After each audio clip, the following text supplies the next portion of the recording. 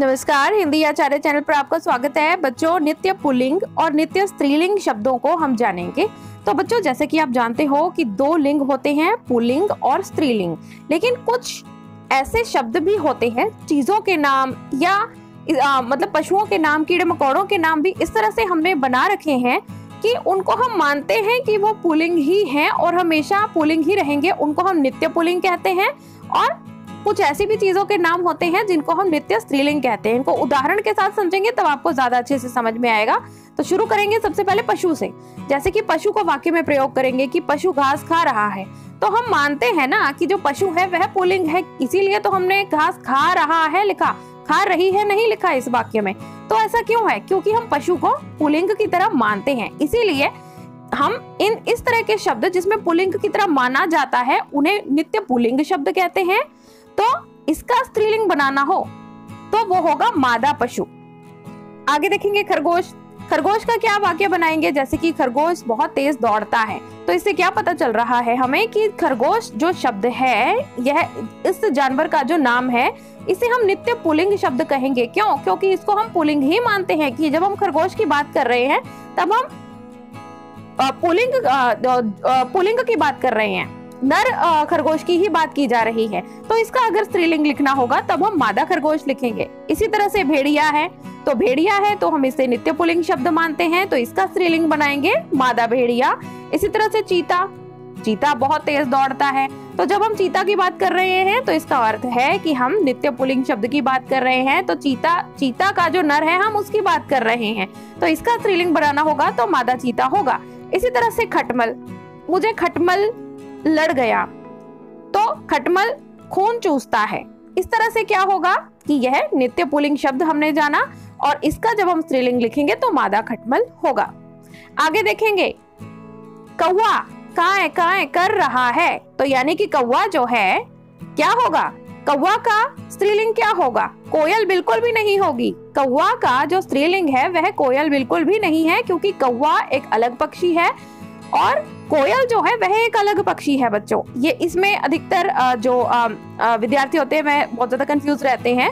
तो कौआ जो है, वह एक अलग पक्षी है। तो कौआ का स्त्रीलिंग क्या होगा? मादा कौआ इसी तरह से मच्छर मच्छर लड़ रहा है, मच्छर उड़ रहा है। तो मच्छर क्या है? मच्छर नित्य पुलिंग शब्द है। तो इसका जब स्त्रीलिंग बनाएँगे, तब हम मादा मच्छर कहेंगे। मच्छरी नहीं कहेंगे। अब उल्लू देखेंगे। उल्लू पूरी रात जागता रहता है। अर्थात उल्लू शब्द एक नित्य पुलिंग शब्द है। तो इसका स्त्रीलिंग क्या होगा? मादा उल्लू। इसी तरह से बाज है, जिसका स्त्रीलिंग रहेगा मादा बाज। इसी तरह से बिच्छू। तो बिच्छू बिच्छू लड़ गया मुझे। तो क्या होगा? मैंने एक बिच्छू को देखा। तो इसका स्त्रीलिंग क्या होगा? मादा बिच्छू। तो बच्चों, समझ में आ गया आपको कि नित्य पुलिंग शब्द, ऐसे शब्द होते हैं ये चीज़ों के नाम भी हो सकते हैं, पशुओं के नाम भी हो सकते हैं। ये इस तरह से नाम होते हैं चीज़ों के या पशुओं के। इस तरह की संज्ञाएँ ये होती हैं, जो कि हम माना जाता है कि ये हमेशा पुलिंग की ही बात की जा रही है। हम मच्छर की बात कर रहे हैं तो हम नर मच्छर की ही बात कर रहे हैं। हम चीता की बात कर रहे हैं तो हम मान लिया जाएगा कि हम नर चीता की ही बात कर रहे हैं। तो नित्य पुलिंग शब्द आपको समझ में आ गए। अब आगे बढ़ेंगे, नित्य स्त्रीलिंग शब्दों को जानेंगे। तो बच्चों नित्य स्त्रीलिंग शब्द भी इसी तरह से शब्द होते हैं जिनको जब हम उनकी बात कर रहे हैं, करते हैं तो मान लिया जाता है कि हम उस जाति स्त्रीलिंग की ही बात कर रहे हैं।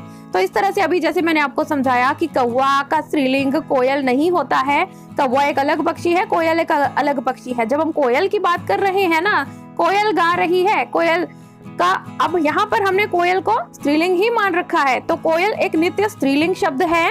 तो जब कोयल ने, एक नित्य स्त्रीलिंग शब्द है तो उसका जब हम पुलिंग बनाएँगे तो वह नर कोयल होगा। इसी तरह से मैना तो मैना का क्या होगा? मैना को हम एक स्त्रीलिंग पक्षी मानते हैं। तोता का जो स्त्रीलिंग होता है वह अधिकतर मैना मान लिया जाता है लेकिन वास्तव में तोता का स्त्रीलिंग मैना नहीं है। मैना एक अलग पक्षी है उसका भी नर होता है और मैना से हम मान लेते हैं कि यह नित्य स्त्रीलिंग शब्द होने से कि मैना उड़ रही है तो यानी कि हम स्त्रीलिंग मैना की बात कर रहे हैं तो इसका जब पुलिंग बनाया जाएगा तो नर मैना लिखेंगे हम। इसी तरह से मक्खी मक्खी भिन भिन आ रही है तो उससे क्या पता चलता है कि मक्खी खाने के ऊपर बैठी हुई है। तो यानी कि मक्खी को हम मान लेते हैं कि यह एक नित्य स्त्रीलिंग शब्द है तो हम मक्खी के, हम स्त्रीलिंग की ही बात कर रहे हैं। और इसका अगर हमें लिंग बदलना होगा, तब हम नरमक्खी बोलेंगे। इसी तरह से जू है। मैंने मैंने पवन के सिर पर बहुत सारी जू रेंगती हुई देखी, अर्थात जू नित्य स्त्रीलिंग शब्द है। तो इस क्या होगा इसका पुलिंग? नर जू। जोंक देखिए, जोंक का क्या होगा? वह जो खून चूसती है, जोंक ने पशु का सारा खून चूस लिया। तो जोंक क्या है? स्त्रीलिंग, नित्य स्त्रीलिंग। तो इसका पुलिंग बनाएँगे तो नर जोंक कहेंगे। गिलहरी को भी देखेंगे, ऐसे गिलहरी है, गिलहरी पेड़ के ऊपर चढ़ रही है तो गिलहरी बहुत तेज भागती है तो क्या होगा? तो गिलहरी, यहाँ पर हम नित्य स्त्रीलिंग की बात कर रहे हैं तो इसका लिंग बदलेंगे तो नर गिलहरी होगा। आगे देखेंगे मकड़ी।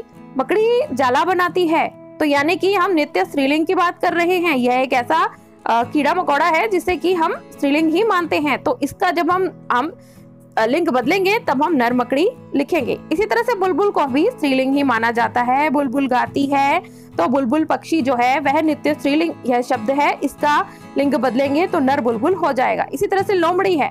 लोमड़ी को भी, लोमड़ी को भी हम स्त्रीलिंग ही मानते हैं तो यह एक नित्य स्त्रीलिंग शब्द है। तो इसका लिंग बदलेंगे तो नर लोमड़ी हो जाएगा। इसी तरह से चील, नर चील हो जाएगा।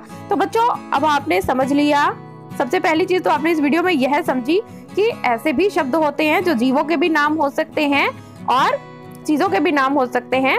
उनको हम हमेशा ही पुलिंग या स्त्रीलिंग ही मानते हैं। तो इस तरह के शब्दों को हम नित्य पुलिंग या नित्य स्त्रीलिंग शब्द ही मानेंगे।